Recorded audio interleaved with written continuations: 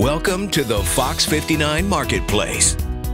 We are here today with Shelby Lane. She is a physician's assistant at OrthoIndy Urgent Care, and today we are talking about elbow and wrist sprains with kids. Pretty common here.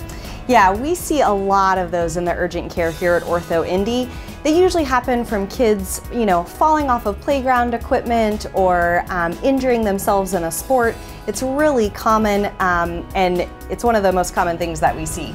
And it's pretty tough to tell the difference between a sprain and a fracture, right? So sprains and fractures can be hard to distinguish in the pediatric population because kids don't always swell like adults do.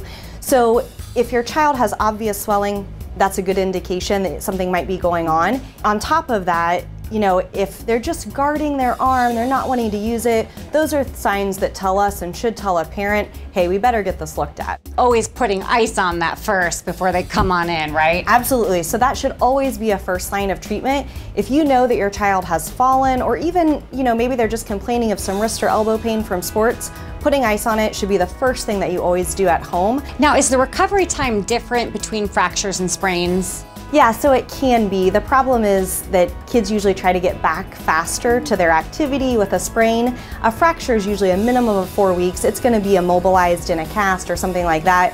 Whereas in a splint, kids are kind of, they get back to sport or activity a little faster and then um, takes a little bit longer to heal. Great information, Thanks. Shelby. And for more information, you can check them out online at orthoindy.com today.